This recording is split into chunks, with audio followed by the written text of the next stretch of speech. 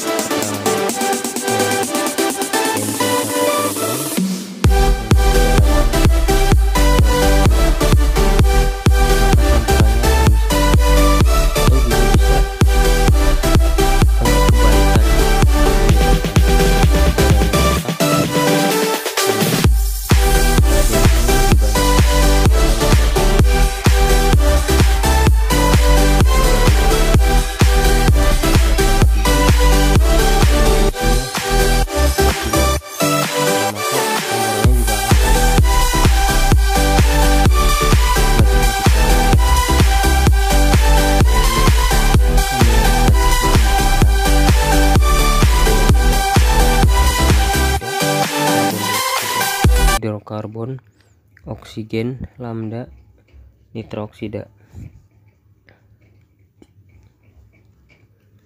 Oke, kita langsung naik aja. Uh, di sini yang penting pengertian volume dan massa udara.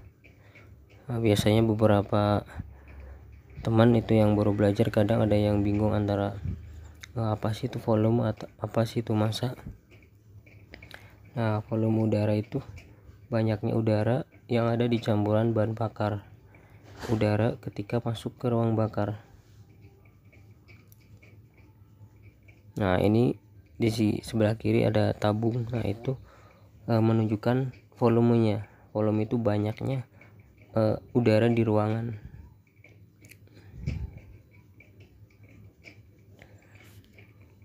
Nah, kita next.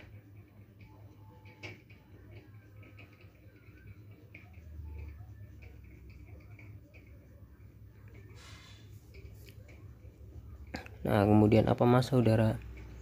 Massa udara itu berat udara dalam gram yang dicampur yang ada di campuran bahan bakar udara ketika masuk ke ruang bakar.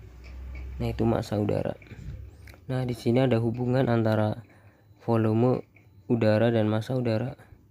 Nah, faktor yang mempengaruhi volume udara itu kondisi mesin, pemakaian. Nah, maksudnya kondisi mesin ini uh, seperti contohnya kita besarnya intake kemudian uh, besarnya bore up. Nah itu mempengaruhi volume udara yang masuk. Besarnya uh, clap. Nah itu juga mempengaruhi volume udara. Nah kemudian untuk faktor yang mempengaruhi massa udara itu suhu tekanan. Nah di sini keterangannya tekanan. Maksudnya tekanan kelembaban udara. Nah semakin eh, tinggi suhu udara maka masa udaranya akan semakin sedikit. Karena semakin panas oksigennya akan menurun. Kemudian tekanan tekanan udara itu juga berpengaruh. Tekanan udara luar itu berpengaruh sepertinya tekanan di dataran tinggi sama di dataran rendah. Itu beda. Jadi ketika tekanannya beda maka kandungan oksigennya berbeda maka masa udaranya akan berbeda. Contoh di dataran tinggi itu tekanannya rendah maka e, masa udaranya akan rendah karena kandungan oksigennya rendah. Beda dengan dataran tinggi yang tekanan udaranya standar maka volume udara apa masa udaranya itu lebih tinggi.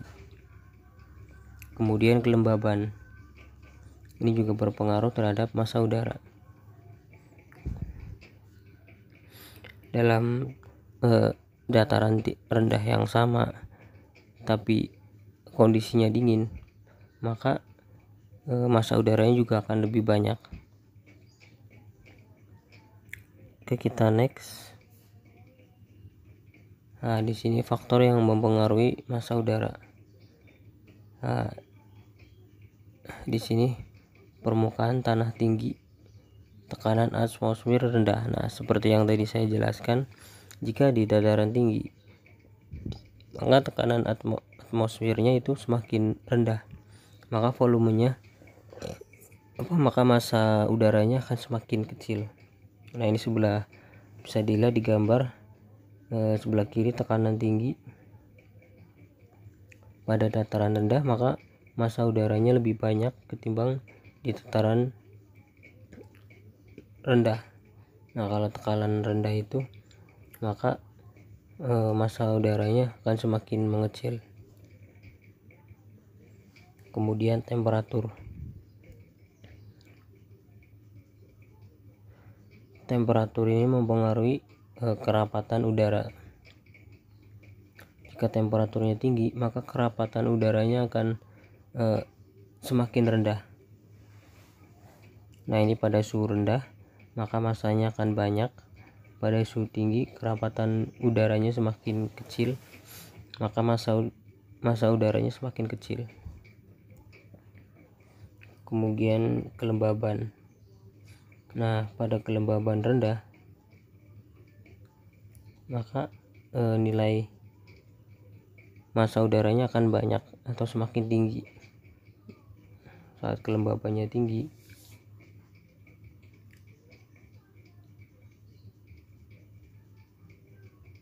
maka masa udaranya akan turun.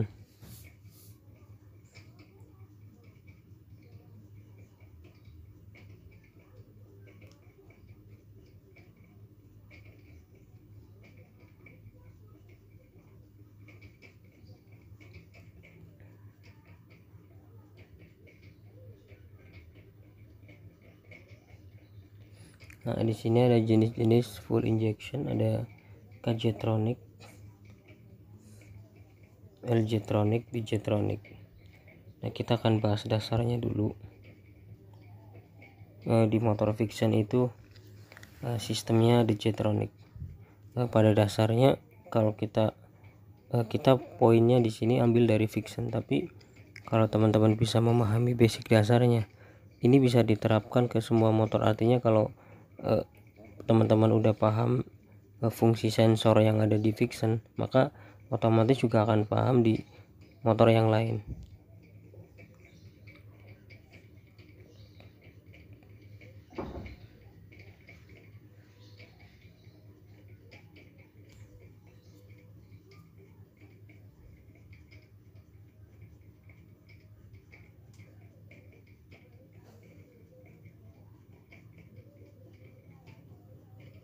Nah, di sini ada perbedaan jenis full injection full injection system. Nah kalau Kajetronic sistem itu menggunakan sensor mekanik.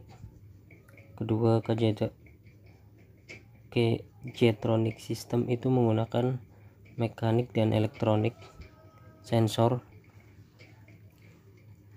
Kemudian LJtronic sistem itu uh, menggunakan sensor volume udara terdapat sensor volume udara kemudian Dejetronic De Detronic system itu yang ada di Fiction itu yang menggunakan sensor tekanan udara.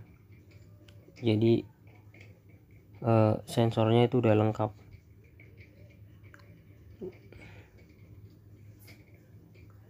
Nah kita masuk ke skema dasar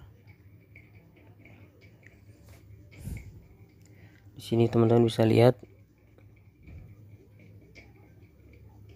uh, skema dasar sistem full injection.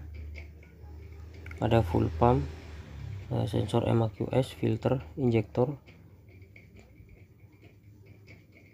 transistor system injection atau coil TCI ada termosensor FID crank angel sensor. ECU kita akan bahas satu-satu nanti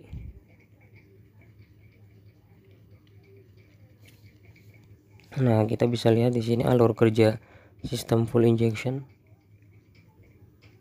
Nah, sensor. Nah, teman-teman bisa lihat di sini eh, gambar di sebelah kiri yang keterangannya biru dan sebelah kanan keterangannya merah.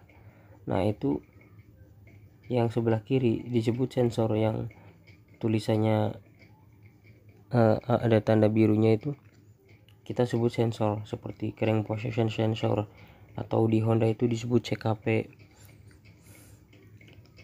nah terus air air pressure sensor air temperature sensor total position sensor itu semua sensor yang memberi input sinyal kepada ECU nah di sini untuk injection itu dibagi tiga jadi sensor control unit dan aktuator. Nah control unit ini yang disebut kalau di Yamaha itu ECU kalau di Honda itu biasanya disebut ECM kemudian ada aktuator. Aktuator itu yang menerima sinyal dari ECU atau yang menerima perintah kerja dari ECU seperti injektor coil full pump relay atau FID atau cuk otomatis pada pada Honda itu biasanya namanya IACV kalau jenis MIOJ itu namanya ISC idling speed control. Oke untuk uh, kali ini kita bahas sampai di sini dulu. Untuk next kita bahas yang seperti ini di video, di video ini. Uh, komponen dasar dan fungsinya nanti akan saya bahas lengkap. Uh, untuk next video. Semoga bermanfaat buat teman-teman semua uh, jangan lupa like. Nanti kalau memang uh, suka dengan penjelasannya uh, komen. Nanti saya akan bikin video lanjutannya. Oke sekian. Assalamualaikum